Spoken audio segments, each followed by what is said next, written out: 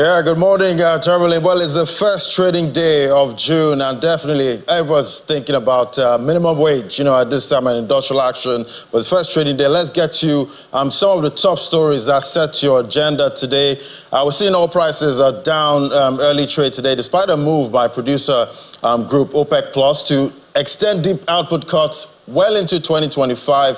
But we'll see uh, Brent not reacting positively um, to that news there. 0.3% um, down. That's what we're seeing for Brent uh, this morning. WTI moving farther away from that $80 mark, $76.80, down about 0.2%. Um, Let's get a check on the um, FX market now. We're seeing uh, the close for um, Friday there.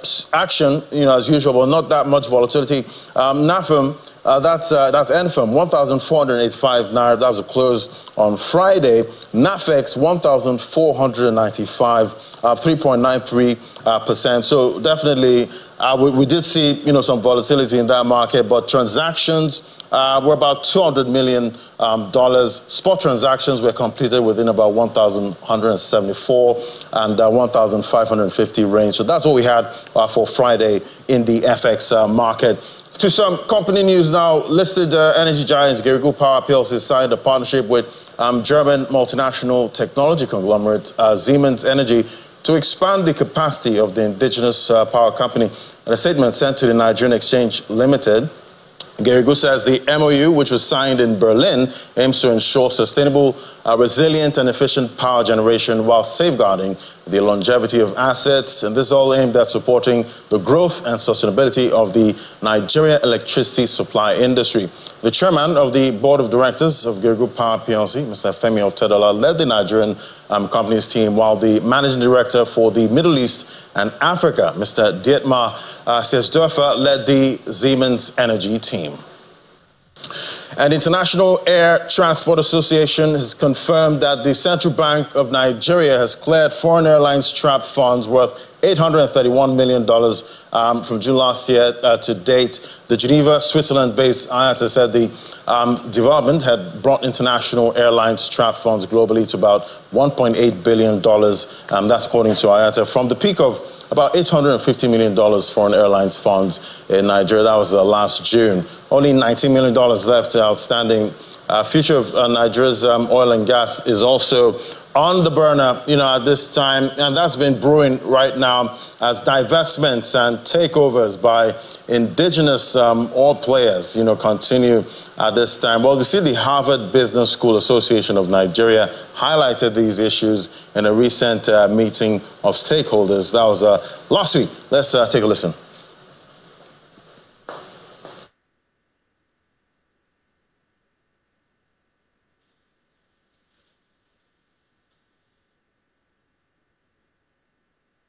Has a significant impact on Nigeria. It's part of our history. It will continue being part of our history. It drives a lot of things. Whether when the forest goes up or down, oil industry is involved. If there are fuel queues, if there are diesel queues, so oil affects our lives in more ways than one. Schlumberger used to train all of us, both Schlumberger staff and staff of the operating companies. We were able to set up with these companies we set up because Shell trained them and we took people from Shell to come and set up. Now all of those people we used to start up the businesses are the ones they are calling dinosaurs. And the people who were training Schlumberger and Shell stopped training 15 years ago. That's why the middle is empty. We have to take the baton from there. Because all of us now know once all the people we brought in to set up these businesses 12, 13 years ago are hitting 60 and retiring, we have to worry about the pipeline, human resource pipeline. And you can only really invest in it when your business depends on it. So it won't be an all-comers affair. The few who are doing well among the IPPG companies, who now know that the future of their business depends on it, they will invest on it and they will solve the problem. They will have to. And the standoff between the federal government and labor still on, with the Nigerian uh, government insisting the minimum wage demand of labor was uh, quite unrealistic.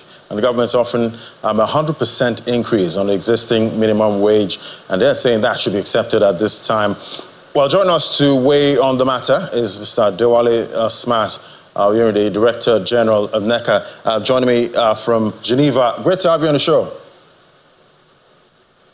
Good morning, and thank you for having us. Good morning. And um, it seems the the tripartite committee is not making headway. You know, at this time, no consensus yet on national minimum wage, and now industrial action is upon us. How are you seeing all of this? Well, it's quite unfortunate that we, we get to this and find ourselves in this situation once again.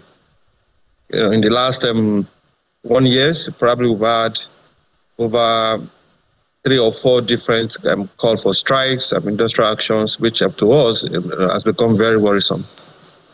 But in this instance of the work of the tripartite committee on the national minimum wage, I think it's very important that we understand the context of these old issues because there seems to be a lot of misinformation that is going um, that is peddled out there. So while we are not, it's very important to say this also. We are not um, an affiliate of the organized um, organized labor. Uh, we are not also a government parastatal. You know, we are a body of respected, legally formed, and uh, responsible businesses in Nigeria.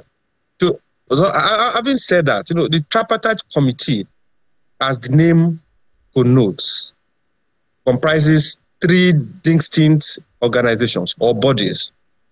One representing the workers, which is NLTUC, NECA, and the organized private sector comprising manufacturers, Association of Nigeria, National Association of Chambers of Commerce, Industry, and Agriculture, NACCIMA, National Association of Small and Medium Scale Enterprises, NASME, and NASSI, National Association of Small Scale Industries, comprising the private sector, and then government.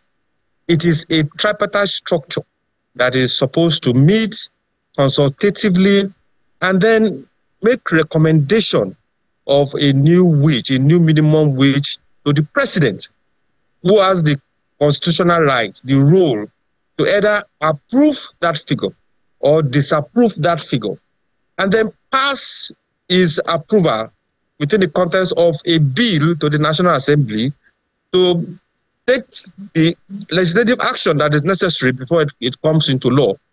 Now, what we are meant to recommend is a national minimum wage. It's very important to, to, to, to address that.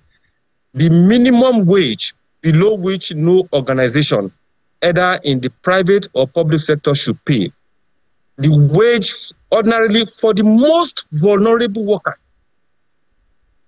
it is not, the process is not to set a general wage increase. It is not. There has been conversations about living wage or there's no living wage. This particular committee that we have, it's set up to come up with recommendations for a new minimum wage. And what has transpired in the committee is has been has been conversations, some call it negotiations, consultation, as is necessary. So it is not impossible that the three parties will not agree. It is not impossible that our interests will differ. But the most important thing is we have to find a balance between the key components, the key, key critical ingredients before we arrive or make recommendation. And this is the macroeconomic dynamics that we currently face.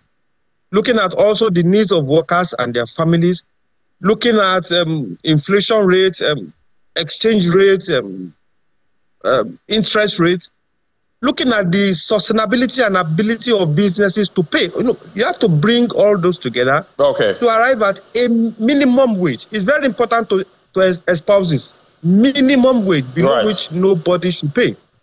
Okay, yeah, well, well, definitely, you know, at this point, um, looking at the macro headwinds at this time, uh, we can agree that it, it's not the fault, you know, of the vulnerable, the vulnerable citizens that we're where we are with uh, inflation and, um, you know, GDP and all of that. Because if we look at the historical data now, um, 5,500, yeah, 2000, that was, you know, the minimum wage. Then we had um, 18,000 in 2011. 2019, 30,000 naira. Then we now had the wage, you know, award. But let's look at how prices, you know, prices of, you know, important commodities have gone up. Let's look at um, fuel now, um, for instance. We've seen fuel, that's up over 100%, you know, at this time. In one year, if we look at the price of fuel, 238 naira, that was uh, one year ago. 701 naira, depending on where you're buying it from, 194% rise. That's for petrol. We're seeing food inflation at 40.54%. So definitely, it, it, it's looking like labor and you know vulnerable um, citizens are just getting the wrong end of the stick. You know, at this point, when you look at you know businesses increasing the prices of their goods and services at this time, but wage, minimum wage, stays sticky. Thank you for your analysis, which is quite interesting. Now, what you didn't had, basically, is the interest rate. How does interest rates affect an average business? How does the forex rate, the exchange rate, how does it affect an average business? How does the cost of fuel, petrol, how does it impinge on the logistics business of organized businesses? How does all these issues affect organized businesses? We've not mentioned the issue of forex. How does it affect the business itself? Because one thing we cannot we cannot run away from is that as the issue, the macroeconomic conditions is affecting workers, is twice affecting the organized businesses. And without the business survivor, you know, there cannot be jobs. So you have to find a balance in all the macroeconomic issues. The organized businesses doesn't create the macroeconomic issues. The workers doesn't create the macroeconomic issues. But we are forced, we are, we are, we are, we are, we are circumstantially, we are meant to operate within the context of the macroeconomic issues. So if you increase wage, and that's why I talk about balance, if you increase the minimum wage, we're talking of the minimum wage now, the least, the minimum below which nobody should pay. There are businesses that are paying more, more than the 30,000 that you mentioned. There are businesses that are paying far, far, far above the 30,000 because they, they, can, they can afford it. But predominantly, many organized businesses have faced perilous times in recent times. It will also interest you. And this is in the public space in the last in the last one year, many businesses that I want to mention their names, they declared humongous losses, which has compromised their ability to also pay the current minimum wage and also protect jobs. So you must our view is this, and it is a very strong view that we hold, that in the current circumstances where the, the variables are not favorable to all of us, what should be our key objective? And for us, one of the key objectives is that you must protect jobs. Because if organized businesses continue to suffer the, the current situation, look, there's no way we can protect jobs. That is the, the basic reality of it. There's no way businesses can remain sustainable when their affordability becomes in question. Okay, so, let, going on, on strike. Yeah, yeah, just one one moment there. You know, uh, talking about uh, what will happen to you know private sector at this time. Just paint a picture, you know, for me of what will happen if we get this 494k minimum wage, if that gets approved, what will happen to private sector? Now, we have created, we will have created a big problem. In fact, the committee will have set up the nation for a major crisis. And this is how it's going to happen. Once, by the, the 30,000, the current 30,000, you have many states and local governments that are still struggling to pay 30,000. Now, the capacity and ability of organized businesses to pay even what we have offered, what we have proposed, a 100% increase, the ability to pay is also compromised. A 400 and a 400 and um, four, let's say 400 in 400 naira, 400,000 minimum wage. We have a negative spiral effect beyond the issue of, um, of, of cost puts inflation. It will also lead to the close down of many businesses, and that's the reality. It's, it's not it's not a threat. It is already happening. Businesses are living in groups Nigerians, your brothers, my brothers, they are losing their jobs in droves. Those are not things that will happen. They are things that are currently happening. So the consequences, the consequences of arriving or making proposals of figures that are that are unsustainable. You know, we just we, we just will have created serious problems for ourselves after the committee was uh, finished its recommendation, and that is our concern.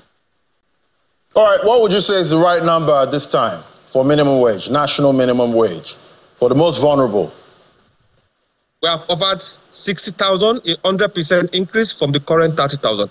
And we believe strongly because in the private sector, there is the instrument of collective bargaining that goes on at the sectoral levels, where some industries, some sectors, collective bargaining is held every year, where wages are increased, terms and conditions of, um, of welfare, they are increased on a yearly basis.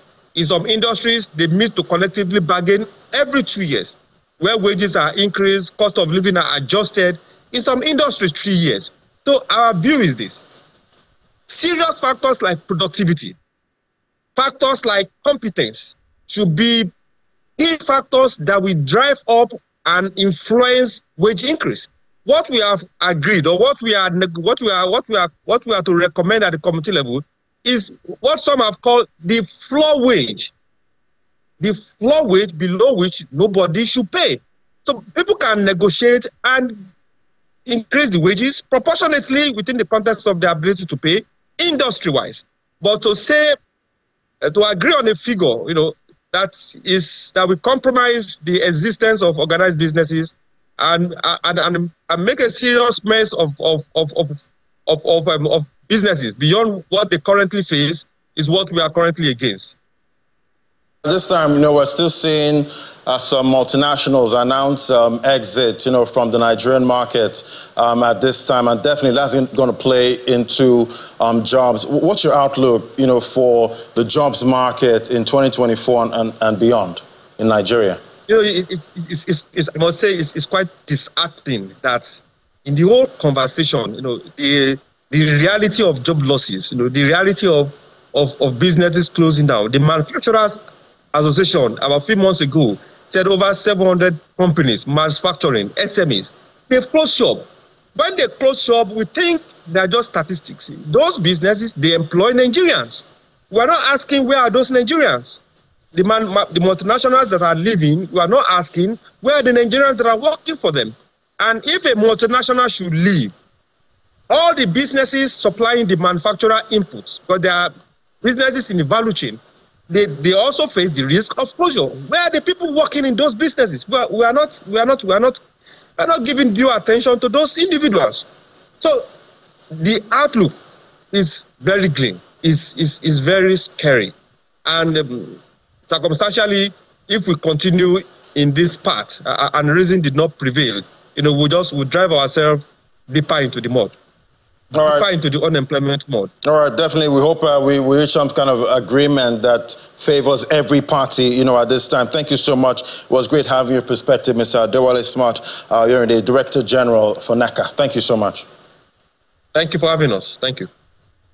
All right, now let's get some breaking news now. Reaching out, see the Central Bank of Nigeria has revoked the banking license of Heritage Bank PLC in accordance with its mandate to promote a sound financial system in Nigeria and in exercise its powers under Section 12 of the Banks and Other Financial Acts as uh, BOFIA 2020.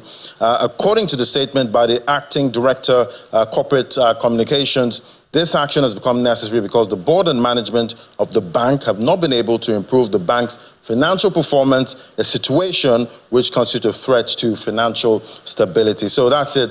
Uh, breaking news right here. CBN has revoked the banking license of uh, Heritage Bank. Well, let's um, look at uh, trading uh, for May now and see what to expect in the month of June. Join us now is Mukhtar uh, Mohammed, CEO Finance with uh, Mukhtar, joining me via Zoom. Great to have you on the show. Thank you, Laddie. Thank you for having me. Good morning. Right. So I, I hope the industrial action is not impacting trades today. Is it? No, not at all. We are a private sector driven the economy, the NCF. We, we can work remotely and just get the system on. Fine. Okay, let's look at uh, the month of May now. We had three negative closes uh, for about three weeks, but we just had just that one positive close. And turns out May turned out positive. How are you seeing that?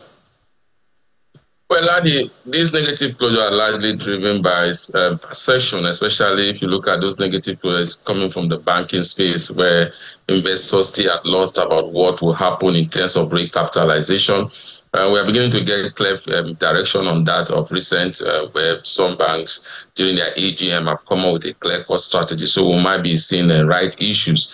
Now, what investors are really concerned about is the price of these right issues. Are they going to be buying at a discount? And um, what is um, what is that discount like, and when will this right issue will be a one-off right issue?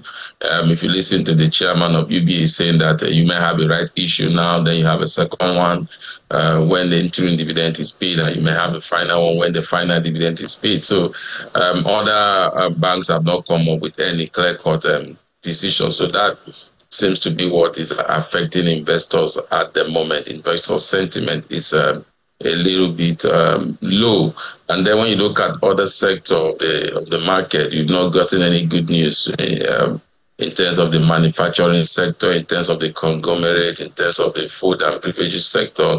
The results have not been commensurate with um, what investors are expecting. So definitely, those negative sentiment will continue to drag down the market. But again, it also offer entry point for designing investors, especially value chain investors who come into the market and take opportunity to buy some of these stocks at a good rate. Right, and definitely we can't we can't look away from the industrial action at this time and the issue of minimum wage in Nigeria. Talk to me about that number, about 400,000 naira minimum wage. How would that impact listed companies on the NGX? I think that one is very unrealistic. Um, we know it's unrealistic, but again, then the government have not shown seriousness in also negotiating with labor. If you listen to what labor seems to say, they come up with their numbers based on figure, but the government just tend to banish numbers at them. Ordinarily, the national minimum wage will be commensurate with inflation average um, rate. That's what is done globally. But unfortunately, if you look at what the Nigerian Bureau of Statistics is giving to Nigeria and and what we, we, we see in the market in terms of inflation, you realize it's a vast difference. When you go to the market, it's like 100%. When you come to Nigerian Bureau, it's telling you food inflation is about 40%. And so they've not been able to match that together. But I think uh, the 497 uh, 497,000 is uh, is not realistic. I don't think any company, especially listed in the index, just like um, your guest said before um, before I came up, uh, there are a lot of challenges that most of these companies are going going to, especially those companies that are exposed to FX. And so sometimes when you begin to throw these numbers around, uh, you don't also look at the larger picture of in terms of government companies needing to satisfy their shareholders by downsizing, whether I call it right sizing or downsizing, might just be what will play up in the long run. So we must be careful. But I think um, government have not so seriousness because if it's easy for you to say um, subsidy gone, it should. I mean, almost a year you've been negotiating uh, minimum wage, and then you these are public servants. They see some of the numbers that some of these political appointees in terms of um, uh, um, funds that are moving their hand within them, and also again a government that is battling minimum wage, saying that oh the economy will crumble if we have to pay. Then here you are, a government and giving about 90 billion naira for operation. All these things sometimes add, add up to when you see um, labor organization demanding for high wages. I think, um, but 497,000 uh, I don't think is realistic. I guess maybe that's why yeah, we see labor asking for that amount. When you see some of the things the federal government, you know, spending on, uh, you know, at, at, this time. But let's look at the breaking news we got um, this morning. Uh, CBN revoking the banking license of uh, Heritage Bank. That, that's a big move right there in the banking industry. How you seen that? Well, I think it, it has been expected for a while now. I remember there like two, three years ago, the former um, that then the then CBN governor came to debunk it that um, that said the bank was going into crisis. That's a bank that had been shown in a lot of controversy. If you remember that the chairman of that bank also was removed some time ago, and I think the bank has not really come out of his wood. Um, but the good thing is that CBN is intervening. Uh, we'll, we'll, get more information on what these interventions are, because sometimes when this intervention comes into play, sometimes the more you see, the less you understand. And um, there are a good thing about uh, the Heritage Bank thing, um, Ladi, is that uh, it's not listed in the uh, stock exchange. Right. So mm, investors will not suffer losses like they would normally suffer, normally suffer when licenses are revoked because um, the CBN will say we are only interested in customers, and once you're an investor, your money has gone down the drain. Luckily, we are not seeing that, and think that is good news for investors. On those for investors, but um, for for for the banking space, uh, after CBN have told us time and time again that the, the, the financial state is very stable. To get a news like this, that means um, international investors will be taking will not be taking the CBN serious sometime when they make some of those um, pronouncements. All right. So, what, what are you seeing for uh, for the month of June? This last um, trading week for May, we did see positive sentiment. Is that going to filter into June?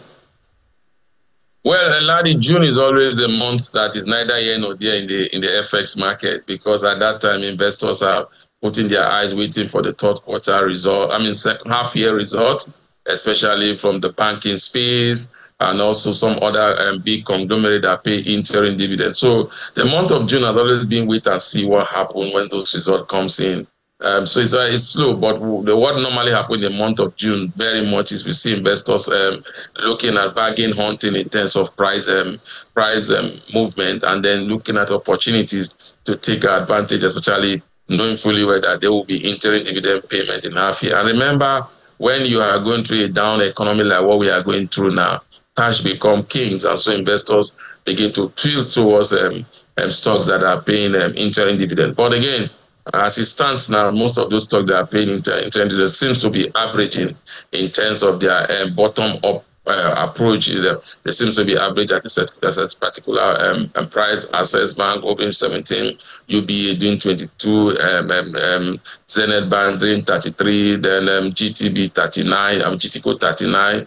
So you see those um, stocks, those companies still within that space. And the only bank they are paying during dividend that seems to have moved is uh, Fidelity Bank, which is doing almost 10 naira, almost above 10 naira. So outside of that, uh, you keep on seeing investors looking for good entry positions in those um, those equity. But most investors normally key in there when those number comes in. Sometimes those number comes in that in pricing Sometimes this number comes in, you see a little gradual movement, and sometimes these numbers might just come in and you see that um, the price will still remain where it is. So investors in the month of June right. are always doing wait and see. Right, wait and see uh, at this point. point, and definitely we'll see how the market closes today. We'll see if industrial action uh, managed to shape investor uh, confidence in the equities market. That's for today. Thank you so much. It was great to have your perspective, Mukhtar Mohammed, CEO uh, Finance with Mukhtar. Thank you so much. Thank you for having me, Laddie. All right, that's it from me on Business Morning. We'll definitely get you today's close later uh, with a summary. It's back to the Sunrise Daily team.